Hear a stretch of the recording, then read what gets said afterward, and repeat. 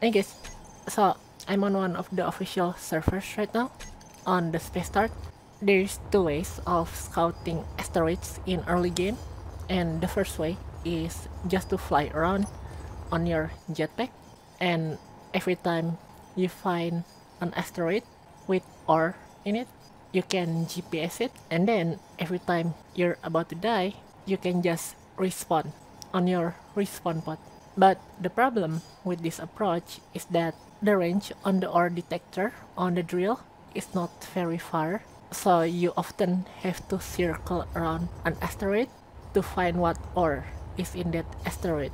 And not to mention if the ore is deep inside the asteroid, it's gonna be harder, if not almost impossible, to detect it right away with the drill.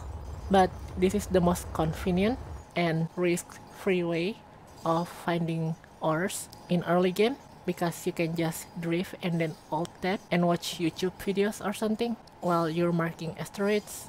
But the faster way is by progressing with your respawn pod until it has an ore detector. So we're gonna do that right now. Alright, I'm gonna work on this respawn pod real quick.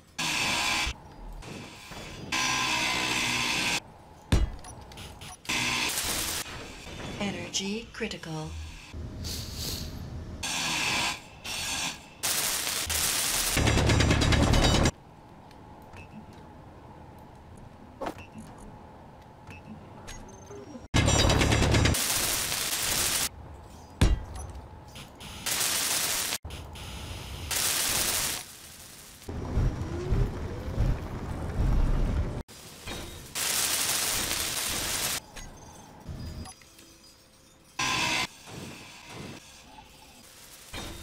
Alright, so now we got the detector, drill and everything. Uh, I'm gonna move these thrusters. It's not necessary, but you can do it if you have already unlocked the thruster in your progression.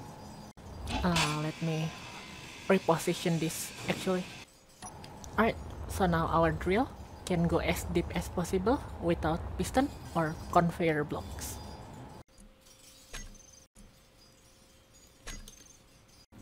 So the fastest way of finding ores in early game is by using the respawn pod with an ore detector.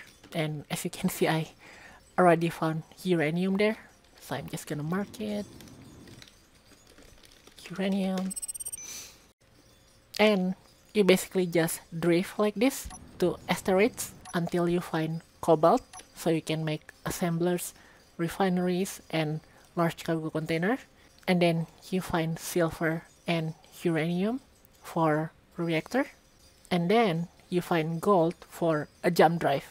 And with all that you can basically jump around all the asteroids and the ores that you have found earlier. And that's how you get all the ores in early game as fast as possible